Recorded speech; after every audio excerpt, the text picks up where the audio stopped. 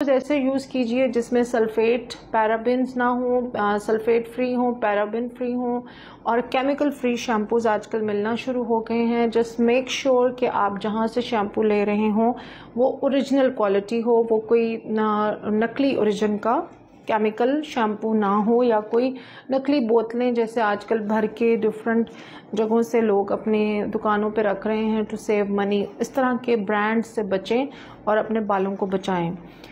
अच्छा।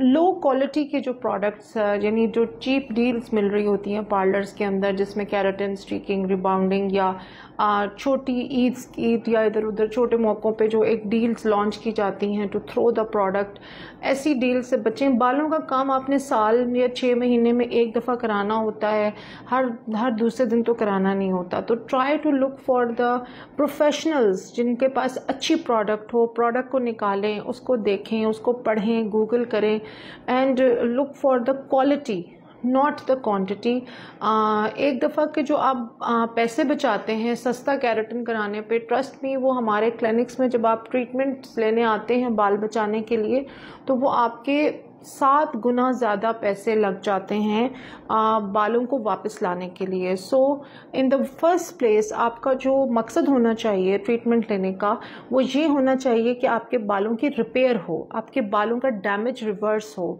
ना कि आप आ, जो करने वाला है उसके पीछे लग जाएँ कि बस जी मेरे तो ये इतना सा फ्रिज रह गया इसको बिल्कुल सीधा करें। इवेंचुअली द फ्रिज तो वापस आना है। आप अपने बालों के ओरिजिनल टेक्सचर को इन्जॉय करें।